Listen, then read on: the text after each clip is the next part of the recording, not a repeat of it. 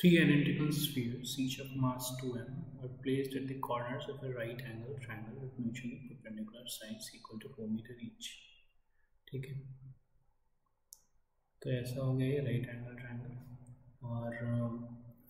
This is also ठीक है तो इसका मास भी टू एम है इसका मास भी टू एम है और इसका मास भी है uh, with mutual perpendicular side equal to 4 meter each 4 meter each so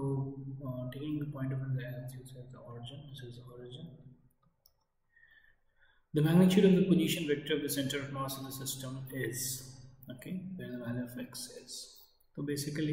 हम लोग क्या करेंगे एक्स सी ओ एम निकाल लेंगे which is equal to sigma M I X I divided by sigma M I तो two M into four divided by six M क्योंकि इन सब का कोऑर्डिनेट्स जो है देखिए ध्यान से इसका हो जाएगा फोर कॉमा ज़ीरो इसका तो ज़ीरो कॉमा ज़ीरो है ही, और इसको zero comma four so this is 8 by 6 which is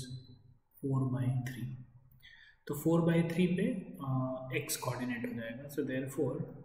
है ना और अगर देखा जाए Y Y also is same only क्योंकि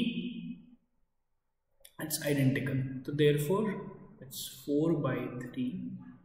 है ना? इधर भी फोर बाई थ्री इधर भी four by three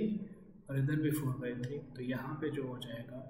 this is actually four by three root two ठीक है? So therefore the value of X is going to be